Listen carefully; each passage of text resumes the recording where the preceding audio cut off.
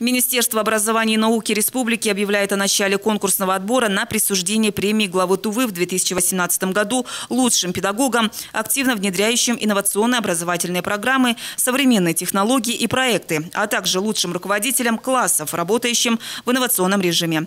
В конкурсе могут принять участие педработники образовательных организаций Тувы, руководители классов, а также руководители, их заместители, преподаватели образовательных учреждений средних профессиональных образований, дошкольных дошкольных специальных коррекционных образовательных учреждений республики, если они непосредственно осуществляют учебный процесс, выполняя учительские обязанности.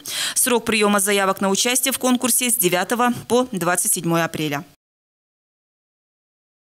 Золотую медаль будут давать только тем, кто сдал единый государственный экзамен не меньше, чем на 70 баллов. Об этом сообщает российская газета. Миноборнауки России разработала проект изменения порядка выдачи медали за особые успехи в учении, где предусмотрено, что медаль будут получать лишь те ученики, которые успешно сдали ЕГЭ.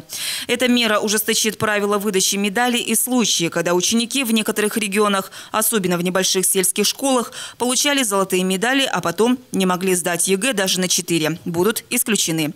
В регионах выдаются и свои собственные медали, федеральные правила на них распространяться не будут.